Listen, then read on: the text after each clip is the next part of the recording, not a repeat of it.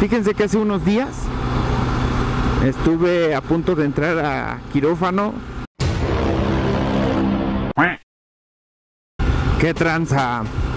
Banda de YouTube. Pues miren, les platico muy rápido cómo estuvo. Estos últimos días han sido unos días de mucha reflexión, de mucho, de mucho trabajo personal y que va a tener impacto obviamente en, en el canal. Es un impacto positivo en el canal, un impacto positivo. ¿Y esto por qué?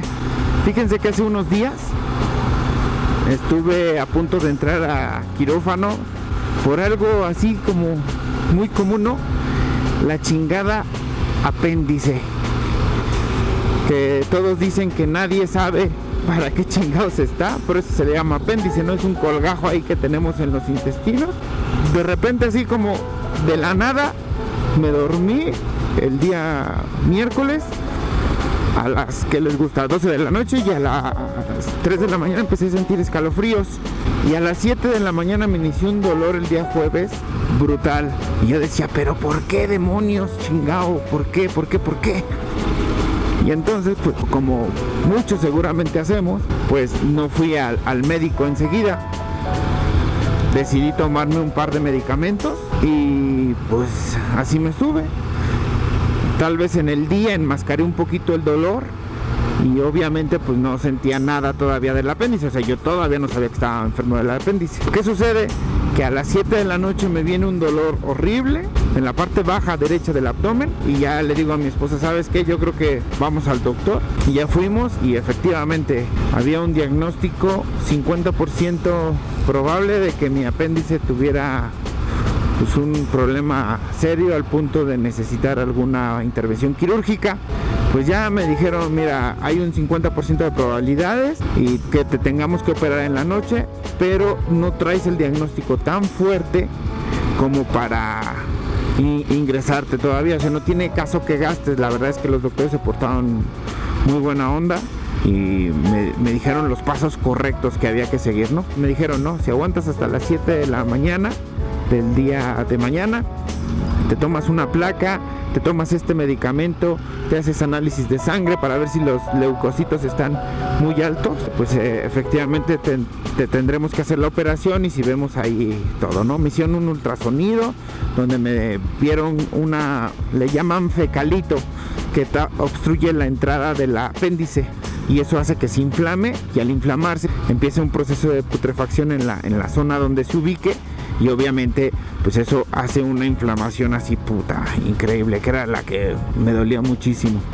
Entonces afortunadamente el medicamento funcionó mi cuerpo reaccionó afortunadamente todo salió bien y no me operaron pero sí estuve a nada a nada a nada a nada.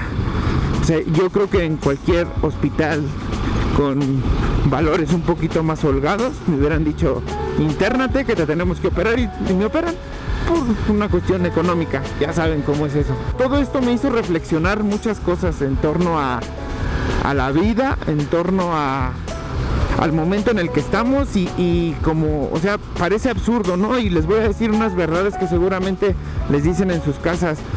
Uno se duerme y tal vez no sepas eh, si te vas a despertar, o más bien no sabes si te vas a despertar. No te duermas enojado, ¿no? Con las personas porque no sabes si vas a despertar. No sabes literal si saliendo a la chamba vas a sufrir un accidente. No sabes si de repente, como a mí, una S fecal se te pega en el apéndice y vales madre. Cabrón. No sabes si un pendejo así te va a tocar y te pueden atropellar. Y luego dije, bueno, si me hubiera, si me hubiera pasado algo, si me hubiera no sé, ustedes saben, ¿no? A veces hay complicaciones en, una operación, pero pues esto me hizo pensar mucho, uno, ¿qué quiero para la vida? Porque no sabes si vas a estar, no sabes si de repente algo, algo se complica y, chupó faros, literal, chupar faros en México, en esas épocas antiguas de antaño, en el pelotón de fusilamiento, lo que hacían era, este, había los cigarros faros, entonces les ofrecían antes de, de, dispararles que si no querían faros, entonces de ahí se quedó la expresión chupar faros, o sea, antes de morir chupar faros, fumar. Bueno, perdón por el brevario cultural.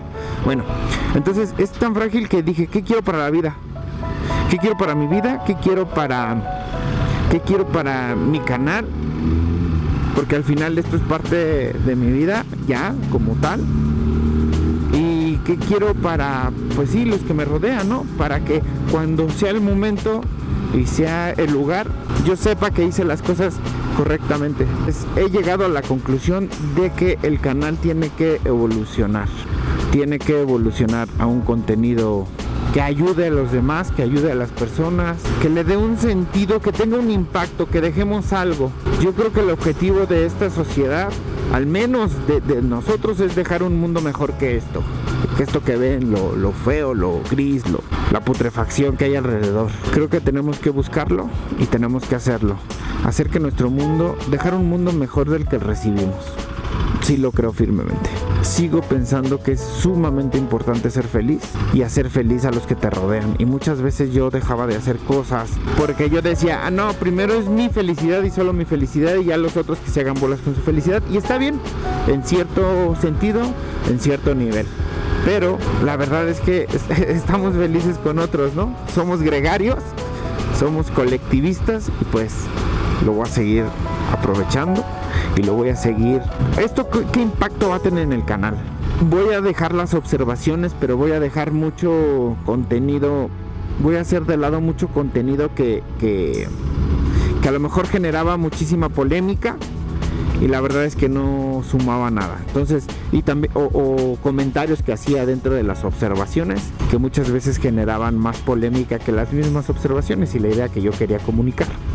Entonces seguirá esa parte. Posiblemente no haga tantos comentarios, nada más la observación y ustedes que saquen sus propias conclusiones. Buscaré contenido que nos ayude como bikers, ahora sí, a generar mayor cultura vial a que respetemos las reglas, aunque las reglas estén raras, estén mal o, estén hechas para otro tipo de, transporte y obviamente no priorizan por orden de importancia, ya eso ya será otra cosa. Y haré colaboraciones buscando apoyos o mostrando cosas de la gente eh, positiva. Espero con esto les, les ayude y digo, no, no es que me fuera a morir o, o algo, o sea, no estuve a riesgo de muerte, ¿no? Pero sí me di cuenta de la fragilidad humana.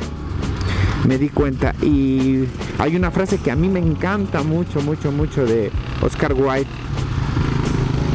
Que dice que la vida es demasiado importante para tomársela muy en serio. Entonces voy a bajar un poco las revoluciones para vivir, para vivir mejor y para vivir mucho más feliz. Muchas gracias amigos, espero les guste este video, espero les guste esta experiencia más que el video como tal.